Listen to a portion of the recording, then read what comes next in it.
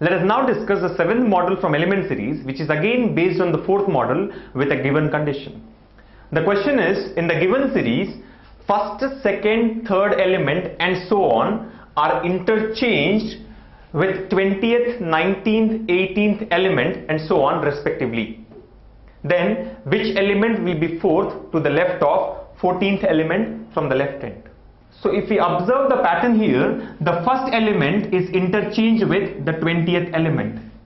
Second element is interchanged with the 19th element. Third element is interchanged with the 18th element and so on.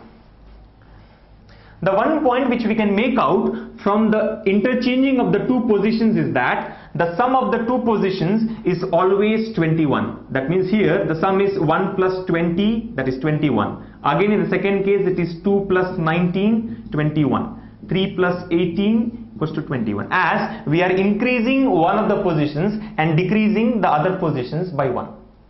So it is very clear that the two elements which are being interchanged, the sum of their positions has to be 21.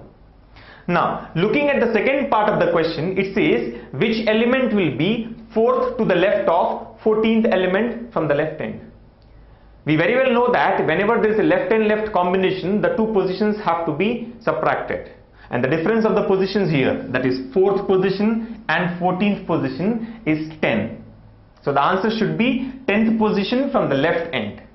But as the elements are being interchanged, the 10th element should be interchanged with one particular element such that the sum is 21.